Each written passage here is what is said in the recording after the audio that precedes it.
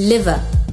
The liver is right inside your abdomen, up under your rib cage, and it's very important to your health.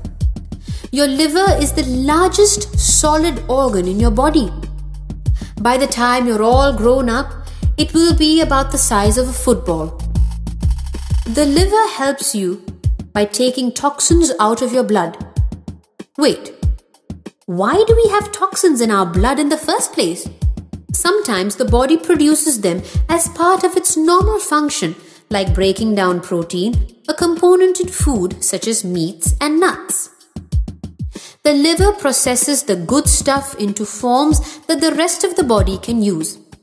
Any waste or stuff the body doesn't need can be carried by bile back into the intestine and out of the body when you poop. Now that you know how much the liver does for you, you're probably wondering what you can do for it. It's easy, really. Staying healthy is the best way to care for your liver. The liver can be damaged if a person is overweight or drinks too much alcohol. So be active, eat right, and your liver will keep on loving you back. Bladder. Pee is one of the first body fluids a kid learns about.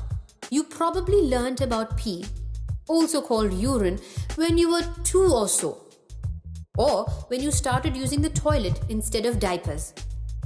Now that you're